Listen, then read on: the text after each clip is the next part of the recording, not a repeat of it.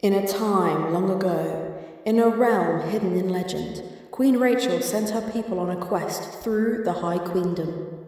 I, a lowly peasant with a mile long reading slump and only three YouTube followers, joined Team Scribe and began my journey.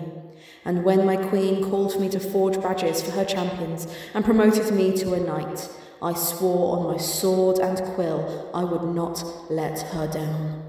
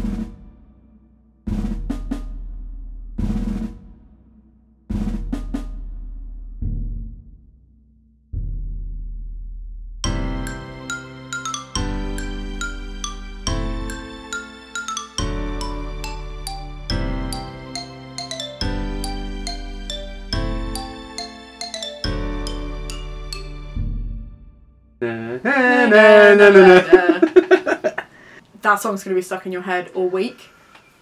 Not my fault. I didn't write it. I'm also not sorry. With that said, the Bookie Trials Royal Weekender. It is upon us. It's less than a week away when this goes out. I'm so excited. I have more books in my TBR for tactical reasons. I am notoriously bad at actually sticking to my TBRs when it comes to readathons. My monthly TBR, usually I'm only one or two books out, it's not too bad, but for weekenders and bookathons and readathons and all of those, I'm really bad. And it's not through any fault of my own. I get about three or four chapters in and then I decide whichever book it is I'm reading, I hate it. And I don't know how I managed to pick. For the last two months and the two readathons I've done, I've hated all of the books bar one or two and therefore haven't actually completed it. So this month, for this readathon, I am going to be tactical. I have two books for each prompt, hoping that I will like one of them. And that way, if they're in my TBR, they still count, but if I decide that actually this is not the book for me and I want to just skip ahead and read the other book for the prompt, I can still get the badge because even though I designed the badges, I still feel like I need to earn them properly, but I'll still get it for that prompt, is my thinking. The only thing I have not bought two things for is the bake something prompt. I don't like cooking. And now that the world has gone mad I really wish I'd bought bread like make your bake your own bread but I didn't. I got devil's food cake because it's my favorite cake to make.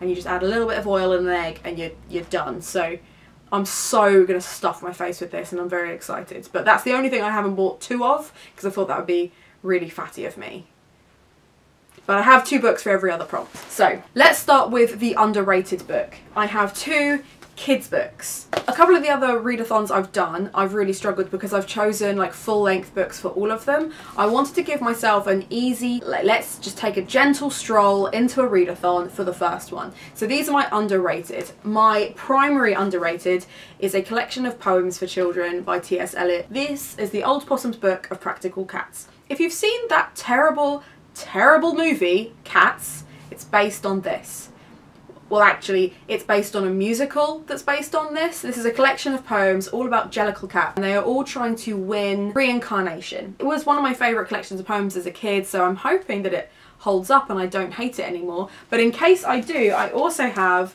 Richard Adams' The Bureaucats. This is just a kid's book about two very naughty cats that live in an office and all the shenanigans they get up to. I am a crazy cat lady. I don't know if you can see the, the sleeping bean behind me. There's a sleeping bean behind me. We'll get him out later. But I am a cat lady and I figured I would start my cat lady trip with cat books. So that's for my underrated book. I don't think I know anyone else who's read these. So that's what everyone's rated to me. The next prompt is a book within a book, the book binding. Now, my go-to book is going to be The Night Country. The sequel to the book I read back in November that broke my reading slump. So this is a this is a signed copy. It's got the gorgeous green pages. It's really, really pretty. I have no worries that I'm going to enjoy this. However, because it's only a weekend and I'm not sure I'm going to get through it, I also have Alice in Wonderland. There is a book on page two of this, so it definitely counts. It's Alice falling into Wonderland. Everyone knows the story. Everyone's seen the Johnny Depp film. It's really bad.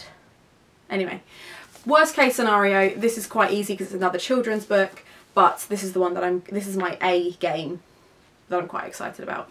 The last prompt is the calligraphy prompt. That is way more difficult to say than I thought it was. Now, a lot of the books that I've bought recently don't have any calligraphy on the front at all, so I've gone for an old, this was recommended to me one. Now I read Cinder and didn't massively enjoy this, but I've borrowed this from my friend Kate and I'm going to give it a few chapters and if I hate it she's going to get it back without me reading it. But it has calligraphy on the front so it totally counts. Now in Cinder it's a retelling of the classic Cinderella story. For Scarlet I imagine this is going to be Little Red Riding Hood. I don't know anything other, like other than that. I know that there are different worlds and it's quite a modern retelling and there's plagues and all sorts of things but I found the first one kind of flat. A lot of nothing happened for a long time and then everything kind of happened on the last page. And I really hate books that do that. So I just really struggled to get into it. But if Scarlet can hold my interest, then maybe I'll continue with the series. If, however, Scarlet does not hold my interest, I have Shadow and Bone by Leigh Bardugo. Don't hate me for not reading this yet, okay? I didn't read books for a really long time and I am trying to catch up with all of the ones that you love. Getting there. But I thought because it had all the swirls and the gorgeousness on the front, that counts as calligraphy, right? So worst case scenario, if, if Scarlet sucks as much as I think it's going to, maybe going in with a negative mindset, it's not the best plan. But if it does, then at least I know Shadow and Bone should be a blast because so many people have like tweeted me that I need to read this and I'm very sorry that I have not read it yet but I will read this and then I can move on to Six of Crows and all the other shenanigans and then I can watch the TV series that's coming out and I can read Ninth House and all those other amazing things and you guys can stop hating me and slamming me for not reading the books that you love. I didn't realise that my reading style was so niche to be honest. I think I just missed a few years worth of reading, still had loads of books left over so read those and no one had ever heard of them by that point so it's kind of like catch 22 you know. Anyway, that's my TBR. It's a nice short TBR. They are short books. There are no adult books in this. I don't trust myself to finish that in a weekend. I've only ever finished a book of this length in a day once. So maybe maybe I could do two. I might be able to, I mean Night Country is shorter, but then yeah. I feel like I've got a nice balance of YA and children's books there. That should see me through. That should make my life a bit easier. I really wish I was a faster reader, but because I'm quite a slow reader, I am kind of balancing that with like audiobooks this month so I might do a couple of these as audiobooks as well but I will be available for doing sprints and stuff I'm really excited to see what the community is reading and I can't wait to see how it all turns out and which badges you guys earn because like I spent a lot of time making those obviously with the guidance of the, Her Majesty herself but uh, yeah I was busy working and then I would make those in the evening and they came out really well. I really like the colours of them. I really like the kind of styles of them it was fun. It was a really fun thing to make. I've also made some of the Instagram story stuff as well, so let me know if you use any of those. Feel free to tag me in as much or a little as you like. Every time I see that someone has taken the badges, cut them out and stuck them into their reading journal, it just makes my heart warm. Like it's just so lovely that I've made a thing that people are enjoying. Which I appreciate is stupid because I've just spent two days editing and filming that fucking intro I just like making you guys laugh, so I'm glad you're enjoying the badges. I hope you enjoyed this video, and because you've made it all this way, here are some bloopers for you to enjoy. Don't forget to like and subscribe, and most importantly, have a nice day. The last prompt is the calligraphy. Uh, cal oh, fucking hell! Um, oh, okay, yeah, no. Does she know what she's doing? No! Alright, hold the pose. God damn it. Bush.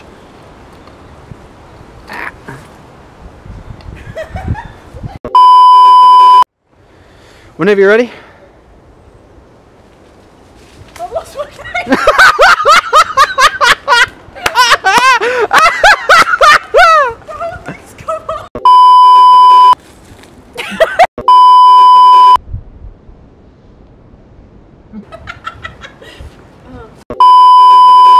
You just pull a face. I mean, that's a very powerful pose.